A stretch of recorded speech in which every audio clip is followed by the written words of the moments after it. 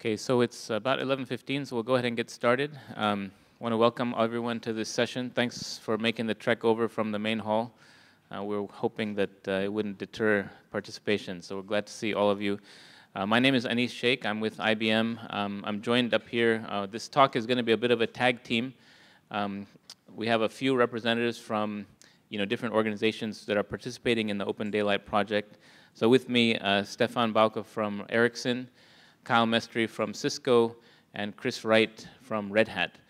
Uh, so what we want to do in this session is actually, we have some charts that we'll go through, um, but we want to do that relatively quickly, you know, in about half the time if we can, and then really leave the rest of the time uh, for you to ask questions about the project, clarifications, um, you know, any information that you'd like, and we'll answer as many questions as we can, or we'll get you the answers um, afterward if we can't. But I think my colleagues uh, will do a better job than me. So in this talk, we're going to cover a few things. You know, not everybody may know what Open Daylight is all about. You may have heard about it, read about it. Um, so we're going to give some background. You know, what is Open Daylight? What is the project about? You know, who are the participants? You know, who makes up the community in Open Daylight today?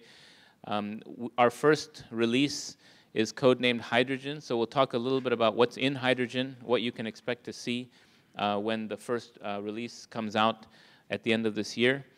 Um, and then the focus of the latter part of the talk will really be about how Open Daylight integrates with OpenStack. And we really, we really want to position Open Daylight as you know, the de facto standard SDN um, platform to support OpenStack deployments. And so we'll end with that, and then we'll have time, plenty of time, hopefully, for questions and answers. So first I'll start with what Open Daylight is. So it's an open source software project. Uh, it's not a standards um, project or standards body.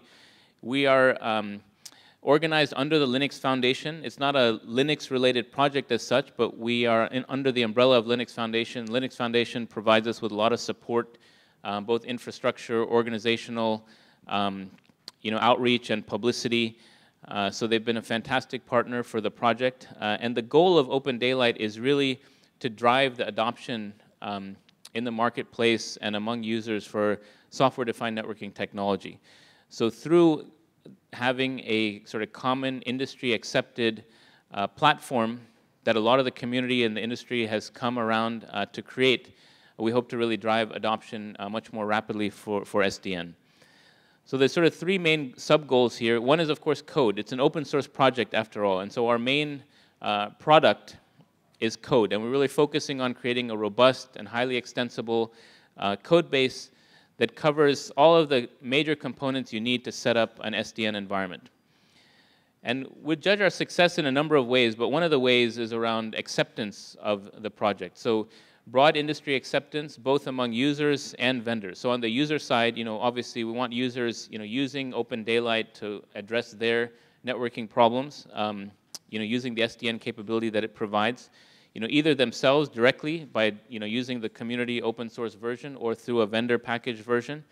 And then among vendors, you know, we like to see um, vendors introducing products into the market that are based on, on Open Daylight. And of course, you know, the third and maybe most important aspect is the community, to really have a thriving and growing technical community. We're uh, really pleased with the amount of interest that's been shown in Open Daylight uh, thus far. We have lots of participants across lots of organizations, you know, big and small, individual and affiliated. Um, so Chris is going to talk more about that in a couple of slides. So what are we building? What is the main product going to be? So the focus is really on building an SDN platform. So it's not a whole end-to-end solution, but it's a highly modular platform that can handle a diverse set of use cases and multiple implementation approaches. There's lots of innovation happening in the, in the SDN area right now. Uh, we really want to embrace and encourage that um, in the project. In addition, there's a set of common abstractions that we're building into the platform that basically abstract these capabilities that are in the platform for an application user through a set of northbound uh, application programming interfaces, APIs. And then we have a layer that does translation or intermediation of those capabilities into uh, protocols on the so-called southbound side of the controller. When we show the architecture, it'll become a bit clearer. There's a set of core network services that every SDN platform needs, you know, things like topology discovery, tracking, you know, where switches or network devices are, where hosts are, et cetera. There's a, a number of core network services that are programmable and reusable in the platform. And it also includes a set of network applications. So some of the projects in Open Daylight are focused on building applications that run above the controller, whereas others are focused on building new services that reside in the controller. And then, of course, there's a number of additional things that we need to make all of this come together. You know, maybe most importantly, integration and testing, and there's a lot of focus on that. We have a separate project just focused on testing. So as I said, we're going to tag team. I'm going to turn it over to Chris to continue, uh, and then we'll move on down. All right, thank you. Uh, so digging a little deeper or giving a, a, kind of graphical view of that architecture that Anees was talking about, this is Open Daylight. This is the architectural view of Open Daylight. If you look at the top of the picture, this is where the applications sit. So this would be above the northbound APIs. The northbound APIs are a fairly critical part of this project. It's again, not a standards organization, the Open Daylight project, but we're trying to build the de facto standardization of, of APIs in an SDN environment so that application developers have a, a single reference point for building their applications and don't need to make uh, difficult choices about which arbitrary commercial controller uh, are we working against. Instead, we can build against a common set of APIs. Those APIs are built on top of the services that Anees was referring to. And in the middle of all of this is something that we call the service abstraction layer. It's a fairly key part of the project. The service abstraction layer is the piece that allows us to decouple those northbound APIs and services from the southbound technology that's talking to each of the different forwarding elements. Uh, you know, most people in the SDN space are very familiar with OpenFlow. OpenFlow is a perfect example of a southbound uh, plugin and a protocol that you would speak from the controller down to the forwarding devices. But our view within the project is that OpenFlow is just one implementation of, of that kind of control plane, and there will be others. And we want to make sure that that abstraction layer is the piece that allows applications to continue working regardless of the communication path between the controller or the protocol between the controller and the forwarding elements. If you see on the far right of this slide, you notice that there's a curly bracket that's identifying open daylight. The purpose is to say that's the scope of the project. It's a fairly wide scope. It's inclusive of the southbound plugins. It's inclusive of that central uh, service abstraction layer. It's inclusive of the north side services and the APIs associated with them and applications as well. Um, down in the very bottom, we have some, some actual forwarding elements. Those are, are sort of nominally placed out of scope because it's, you know, it's a whole different world of building either hardware or virtual switches that those, those solutions already exist and we're not trying to reinvent that. So we'll look a little bit at um, one view of who Open Daylight is.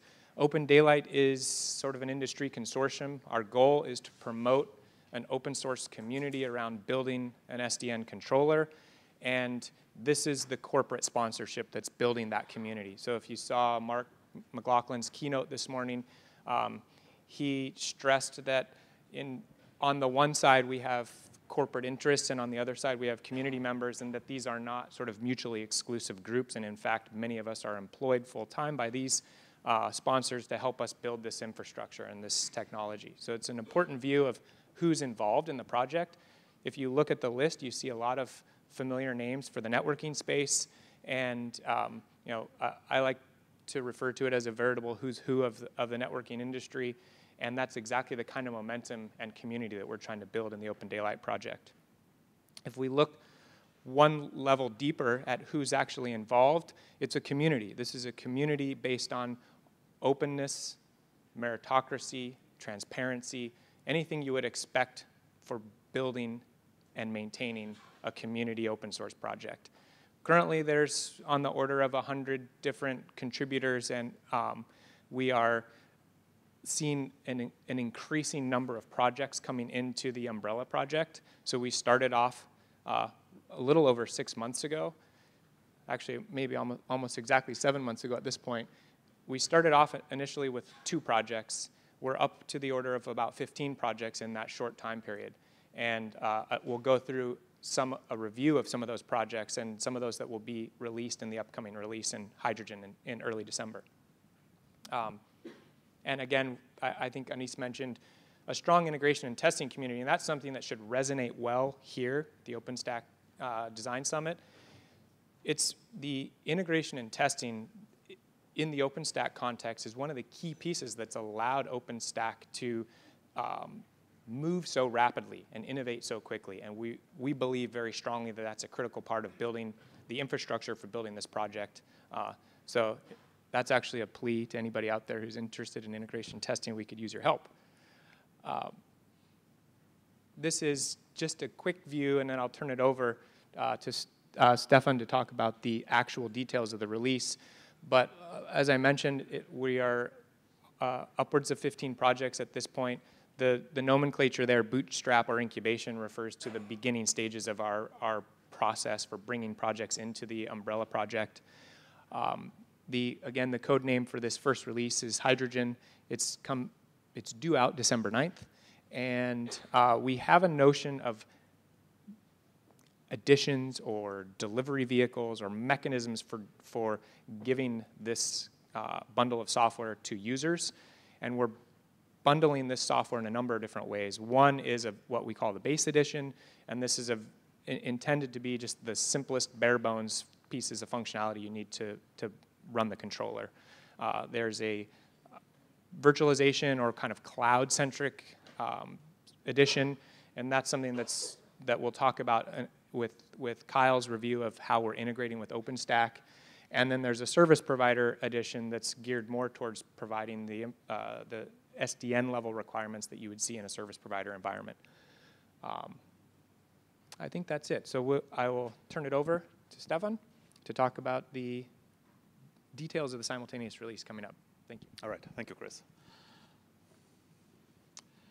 So here you see um, the list of the projects that we currently have. As you can see, it's already a, pretty considerable number, and this is mostly thanks to the highly modular nature of OpenDaylight. It's designed um, you know, to accommodate easy um, addition of new projects um, as we go along. And we have 15 at the moment, but we expect uh, more to be added soon. So um, since there's no time to go through all of those um, in detail right now, I will just uh, very quickly say a few words about each of them. And if you have more detailed questions, uh, please do this in the Q&A session afterwards.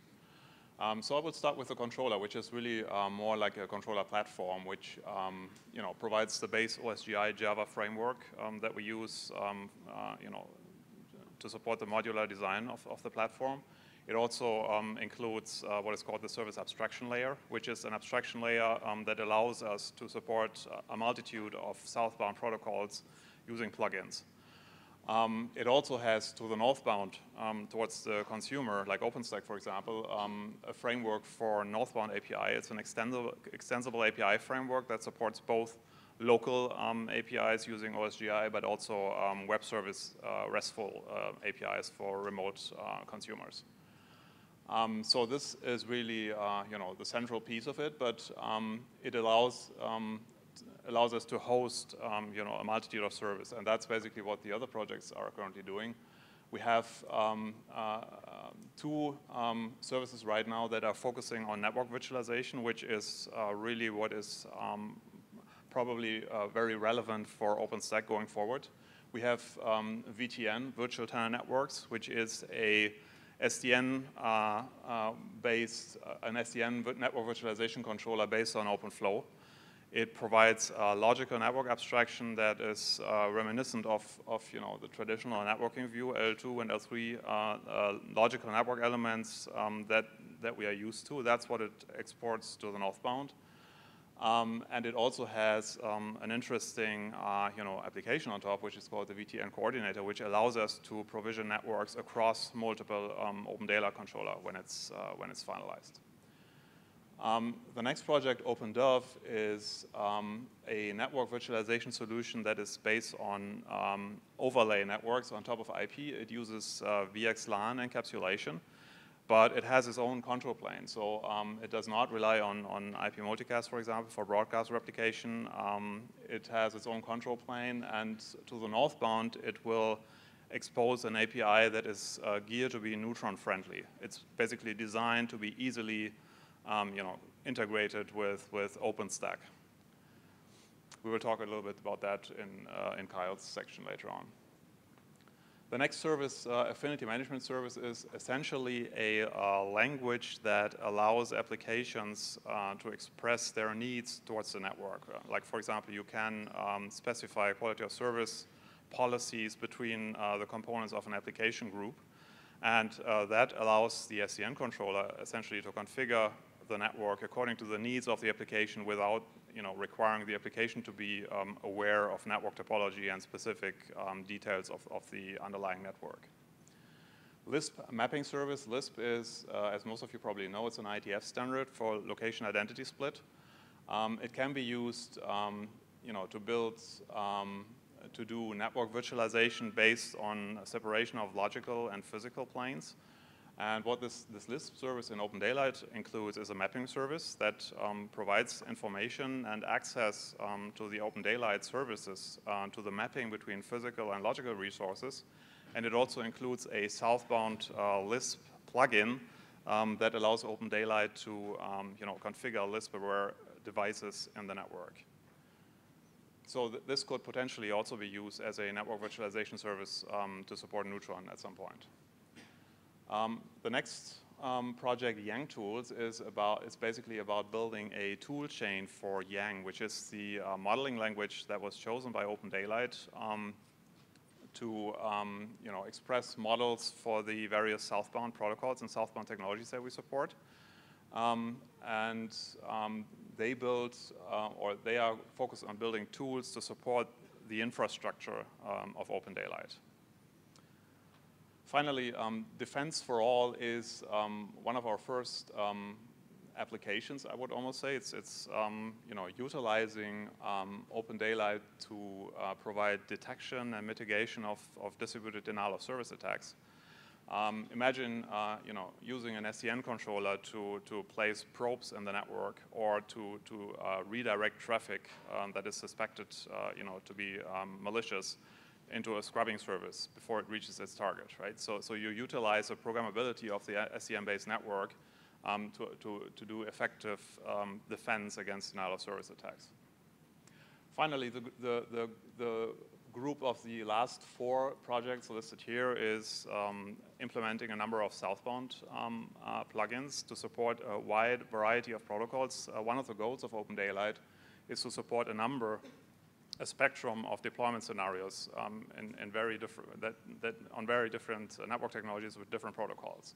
And here you see a few of the projects that are adding um, support for more protocols beyond just OpenFlow and NetConf, what, what, what is currently being supported. So BGP-LS is, is um, uh, a BGP-based uh, protocol basically to um, distribute information about topology and traffic engineering from the network to the SDN controller, and the SDN controller can use that information to make smart decisions about um, uh, configuring the network. And for that, it can use uh, PCEP, um, which is a protocol for, that was originally developed for uh, path computation engines, but it allows the open, the open daylight controller to, uh, for example, configure paths in, in your network using, for example, MPLS-TP, uh, TE, sorry. Um, OpenFlow protocol, of course, is well known. Um, OpenFlow 1.0 is, is, supported as, as part of the uh, base controller platform, but we are also working on extending that support. Um, right now, um, we are planning for the first release to have support for OpenFlow 1.3. And uh, the way this works is we have a Java implementation in, in, the form of an OpenFlow library, and based on that, um, uh, OpenFlow southbound plugins uh, can be implemented rather easily. So we plan to support, to support 1.0, 1.3, but also um, upcoming future um, OpenFlow versions. Um, OVSDB um, is um, a southbound plugin to support uh, Open vSwitch um, uh, uh, OVSDB protocol, obviously, to, to be able to configure Open vSwitch. And um, this is also currently being used to implement, um, or it's, it's an upcoming use to implement uh, Neutron support using um, OVSDB. And finally, we have um, another southbound protocol support, SNMP for SDN, um, which honestly I don't know all the details about, but um, it is a very interesting approach of using SNMP to, to configure flows in Ethernet switches, from what I understand. But it's, it's also planned to extend this to further uses uh, or to use SNMP for, for a wider variety of things later on. So let, let me just give you a brief uh, overview look of what the whole thing now looks like. Um, the basic structure was already um, described um, before.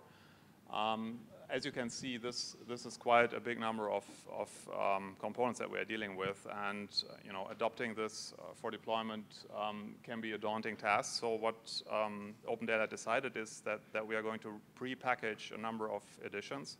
As already mentioned by Chris, we have um, the base edition, which is basically just the SDN controller. It can be used for testing, experimental purposes, for example.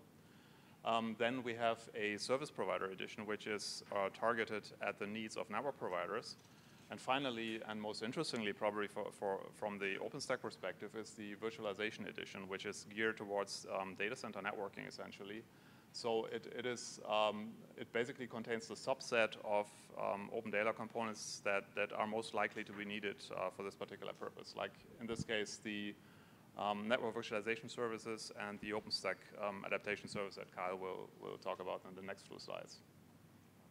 Yeah, and uh, with this, I think I will hand over to Kyle now, who will talk about OpenStack integration. Thanks.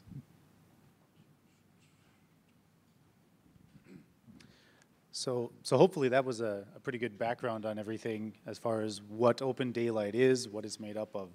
So now at this point, I'll kind of go through the integration we have planned for OpenStack Neutron as well. And um, so what you can see in this slide here is, is a rough diagram of, of how this is going to work. So the Open Daylight team has actually taken the time to come up with this Open Daylight, um, I think it's called um, the Neutron API service effectively, and those are the northbound APIs on Open Daylight there. And those are the APIs that, that map to the Neutron APIs at this point and effectively allows our OpenStack Neutron plugin to communicate with Open Daylight. The idea here is, is that um, effectively the Neutron plugin can be a thin proxy that, that sends all the requests down to Open Daylight, and Open Daylight can then handle orchestrating the virtual networks, the physical networks, whatever you need. This also allows multiple implementations um, to be plugged into the Open Daylight API service inside of Open Daylight there um, as well. Um, there's a lot of benefits to this design, not the least of which is it simplifies the, the OpenStack Neutron plugin. Uh, that, that's, that's actually a huge benefit um, by keeping that thin um, and moving all of the, the orchestration of the, of the, networks and everything like that into Open Daylight as well at this point. Um, effectively, it pushes all of the, the complexity of this down into Open Daylight and kind of removes it from OpenStack Neutron as well. Um, we, you know, we'd, we'd like this to be the, effectively the, the open source controller implementation for, for OpenStack Neutron. In other words, this would be the reference implementation of if you're going to use an open source uh, controller with OpenStack Neutron, you know, we'd like this to be the reference one effectively. So this, this work is, is currently ongoing right now. Um, it's like I think the, the other guys said it's planned for the hydrogen release at this point. Um, the OpenStack Neutron API service is now available. It's, it's been available for, uh, I think it's been at least um, a month now in the Open Daylight project as well. So we're, we're actually actively involved with writing the plugin on the Neutron side to utilize that. On the flip side, inside of Open Daylight itself, um, a lot of the other projects that were mentioned, like OVSDB, OpenDove, VTN, they're in the process of integrating with that API on the southbound side of it so that they can uh, be enabled by the OpenStack Neutron plugin as well. Um, you know, the initial work is, is focused on, I guess, at this point, uh, a modular layer 2 plugin for Neutron as well. Um, we're going to enable additional services as well as we planned it. Um, the, the plugin is, is planned to be upstream during the Icehouse release of OpenStack at, at this point. We have a blueprint filed um, the work has already started at this point. One other thing that, that I'd like to point out is we, we have a GitHub repository for all this work, but the real interesting thing, I think, for the people in this room that maybe aren't familiar with Open Daylight but are familiar with OpenStack and specifically DevStack, we actually have integration with DevStack such that um, you can actually pull the GitHub version of our, dev, of our DevStack and set up in your local RC, and it will actually clone Open Daylight from Git and it will start it in a separate screen window uh, and set up Neutron to talk to it as well. So I think that removes some of the initial complexity from people that aren't familiar with Open Daylight. You can just run DevStack and it will enable Open Daylight, pull it down, and then you can, you can utilize it that way. Um, the DevStack integration also allows you to, to use an existing Open Daylight install if you have that as well. But I think that's, that's actually a key thing, and that, and the plan is to push the DevStack work upstream as well. I think that's, that's actually really nice for people that, that want to just give it a, give Open Daylight a spin with OpenStack Neutron. So I think we're almost done with the slides here. This is the, the call to action slide. So Open Daylight is, is open to everyone. We, would love to see more people participating in the project, um, whether it's you know documentation, QA, development, however you'd like. Um, like any great open source project, we have all of the standard things, mailing lists, an IRC channel. Um, bring your patches if you find a if you find a bug or you'd like to implement a feature. You know, we'd love to have you involved with that bring your project proposals. Um, go ahead and try out the, the, new, um, the Neutron integration or just download it yourself and, and run Open Daylight and give it a, give it a try. I think this is our, our final slide. Um, you know, we have a wiki as well. Uh, we also have weekly open conference calls that are open to everybody. If you're interested in Open Daylight, those are actually a great way to, to get a feel for the project um, to join the, the weekly conference calls as well. Um, we have an IRC channel, like I mentioned before, mailing lists as well, um, a Twitter account, and a hashtag. So, so there we go. So I, I think it, at this point, we're done with the slides. At this point, we'd like to kind of make it an open Q&A uh, from the audience. So, uh, yeah, I think the, um, we have a microphone as well here. Uh, thank you. So does anyone have a question? Yes.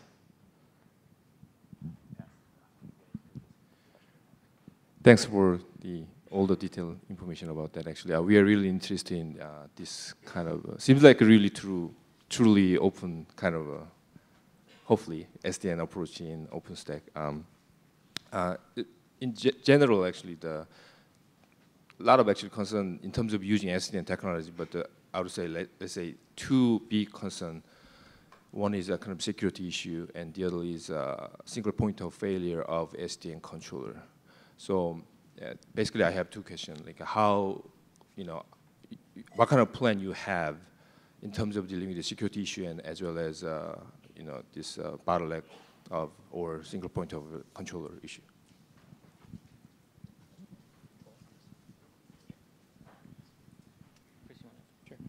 Uh, so the, the two questions. One was how do we manage performance bottlenecks associated with being in the path, potentially being in the path of packet flows. And the other question is how do we manage uh, this centralized controller, a fault in that centralized controller killing your entire network.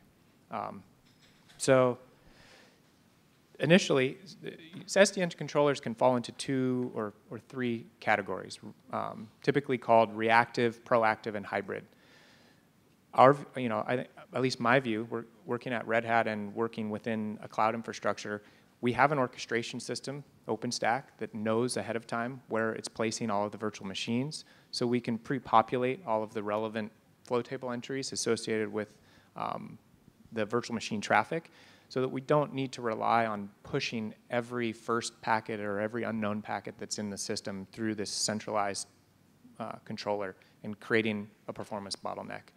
Um, we're also simultaneously working on improving the what we call the packet in processing rate for the controller. So we want to ensure that it can handle a large number of incoming packets that are uh, need to be inspected and reviewed by the controller and then reacted in reaction to some you know unknown event that we need to handle from on the controller side. The controller it's usually referred to as a logically centralized controller. So it's a distributed application. So this is not a single point of failure. It's a cluster. Uh, we use clustering technology to replicate the data across all the controllers. And it's actually an interesting space for innovation in, in this project. Um, currently, we're using uh, in-memory replication of all of the state using, uh, the, the project is a Java project, and we're using a Java building block called InfiniSpan to do the replication. Um, we're also looking at adopting other techniques and some of the projects in, within the Open Daylight controller, like uh, the Lisp mapping service, use Cassandra for state replication and um, distributed storage. So you know, there, there's a lot of room for innovation there and, and pushing the envelope, but fundamentally, it's a distributed application, so it's not a single point of failure. And uh, in a cloud context, it makes most sense to do mostly proactive flow and uh, flow setup. Just to your question about security, I think also, right? So, um, you know, we we have multiple southbound plugins as uh, as we described in the architecture, and you know, we have this notion, at least for the OpenFlow part of the controller, this notion of a connection manager, where not yet, but it, it's actually work that's ongoing to you know secure the connections to the switches, for example, introduce um, you know TLS and secure connections down to data plane devices, as well as uh, for the northbound side to secure you know um, API calls uh, into the controller. So the controller does have a notion of, you know, roles as well, and you can use roles and another notion called containers um, that can also be used to isolate function and make it available only to, you know, uh, authorized users. So there is definitely work ongoing on the security side. I won't say that we have um, all of it figured out yet, but in, at least in the context of the OpenFlow controller role, um, there is uh, a fair bit of work ongoing. Um, and you know, as Chris described, the single point of failure uh, mitigation through clustering. Anyone else want to add? Yeah, go ahead. The scale target.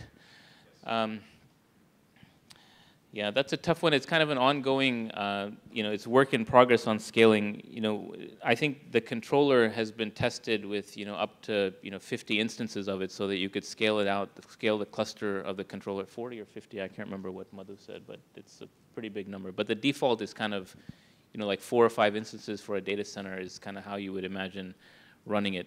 Um, as far as, you know, packet in rates for the OpenFlow piece, you know, some of the comments that Chris made about performance are kind of specific to the OpenFlow operation. There's other things that we do other than OpenFlow in the controller. Um, but, you know, through a bunch of performance work, we've, right now I think we scale up to 100K packet ins per second if you look at C-bench type numbers. Um, number of switches that can be managed, that one I'm not sure, but that's something that's sort of ongoing as another scalability target is to increase, you know, the total number of devices under management. But I don't think we have a number yet for that.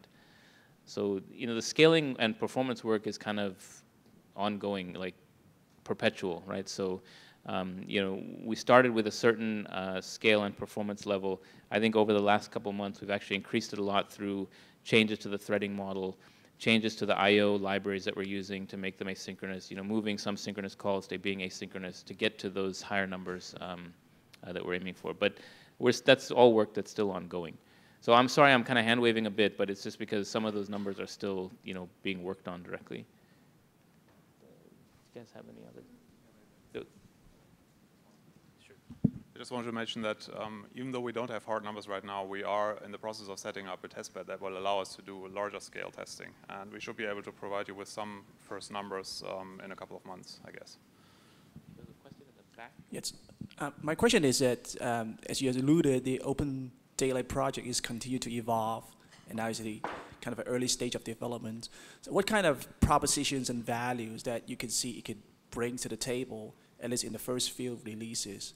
Because like today, I read an article from Light Reading, some of the mobile carriers coming that like the SDN is not about capex saving, but probably other features that it could bring to the table. But someone have your thought on you know what OpenDaylight will bring to the table, at least in the first few releases?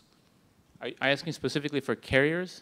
Uh, service provider, yeah. Service provider. So I'll I'll ask maybe Stephan to take a stab at that since he's he works for a. Do you want to talk?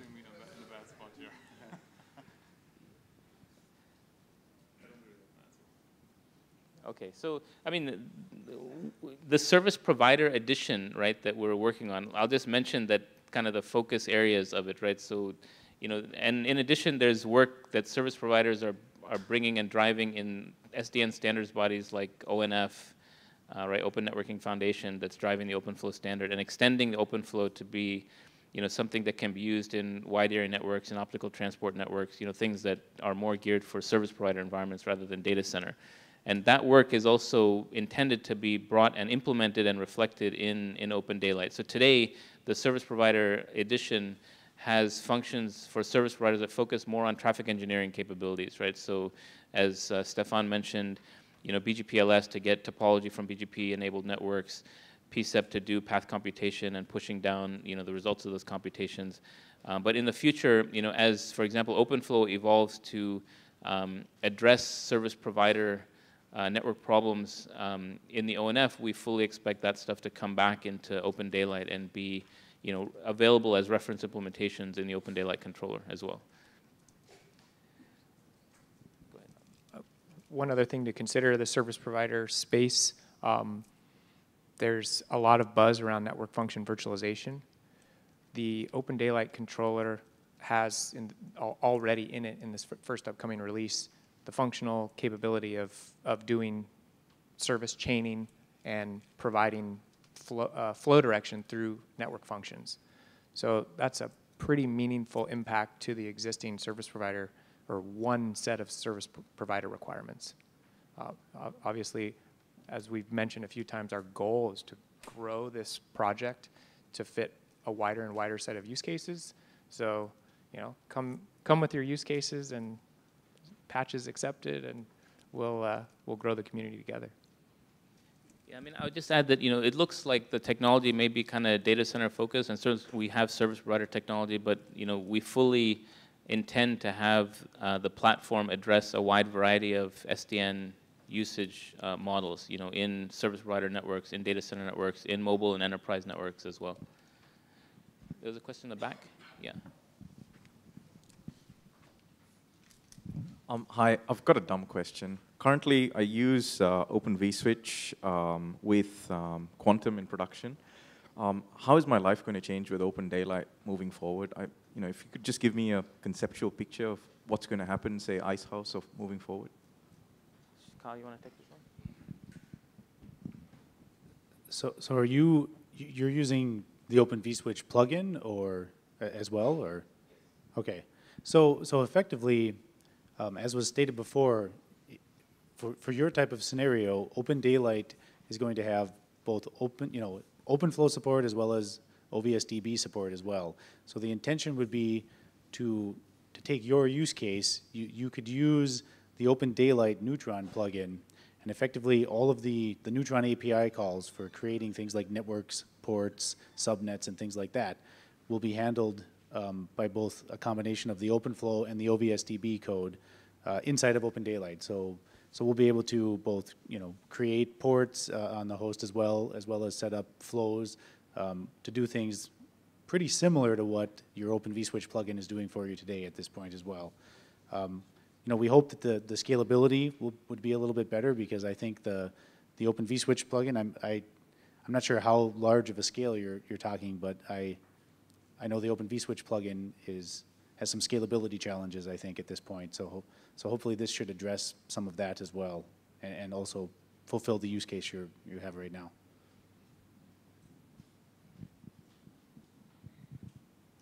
When we're talking about OpenStack and um, Neutron integration, um, there has to be a way to specify what the networking requirements of the VMs are, and I assume that happens through heat. Uh, can you talk a little bit about that and, and are there extensions needed to heat? What's available today? Say a few words about that. Uh, well, so first of all, heat's not required. Heat is a helper. So it gives you a template language to do orchestrated application launching. You could do it all manually. There's a lot of steps to launch a VM and attach it to a network, especially if it's a, it's a collection of VMs and it's an application, it's a multi-tiered mm -hmm. application. Um, most of that functionality is already there in Heat. OpenDaylight is pretty far away from that. That's very cent uh, central to the Neutron APIs that are available for managing your network resource requirements and the Nova APIs for launching virtual machines and associating them with these Neutron resources. Um, there are a few um, resource types in heat that are not available right now that would probably improve cloud formation um, parity. So that would be things that look more like an Amazon VPC style network.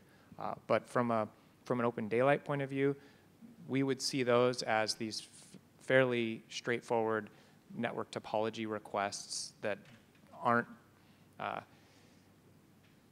they, they're not going to fundamentally change how we're integrating with, with Neutron. Hope, I think hopefully that answers your question. That helps, thanks. I would just add that, you know, what we're focused on the initial integration, as you saw, is, you know, implementing the core Neutron APIs as a, as a first step, right? So those resources, Neutron resources are already, you know, handled in Heat, as Chris was saying. So from the point of view of extensions to Heat, you know, at least initially, we're just focusing on providing an implementation for Neutron APIs, core APIs, uh, and some of the extensions in some cases, in some of the implementations um, directly. So it shouldn't require any changes yet to it. As Neutron evolves and as OpenDaylight support for different models in Neutron evolve, then you know Heat would have to evolve accordingly, right?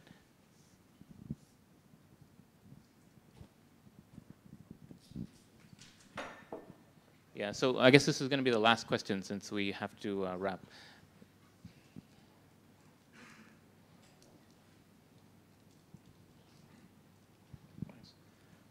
Um, just a quick question. I mean, uh, given that we have a lot of like high order network service types in Neutron, like load balancing, firewalling, I mean, how do you actually see that like uh, working with ODL?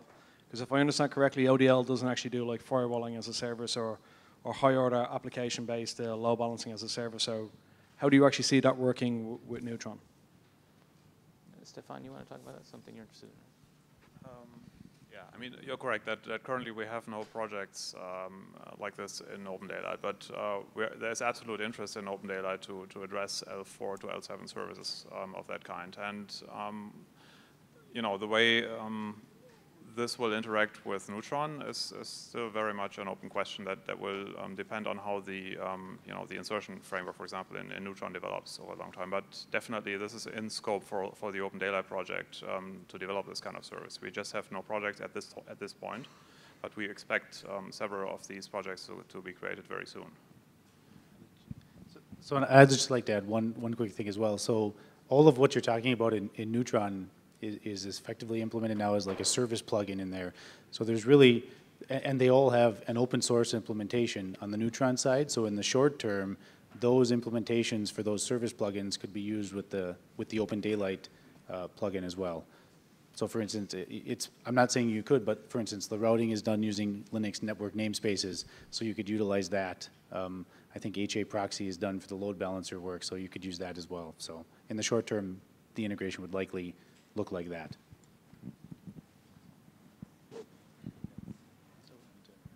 Okay. Um, yeah. So I think we're out of time. Um, just wanted to thank everyone again for coming. Please, you know, find any of us. We, there's a booth for OpenDaylight on the expo floor that uh, Phil Robb is um, manning. Uh, so feel free to drop by. Please ask more questions. And uh, as Kyle showed you, we're definitely looking for more um, participation from organizations, individuals, the project is open and uh, open to all of you to come participate. Thanks again.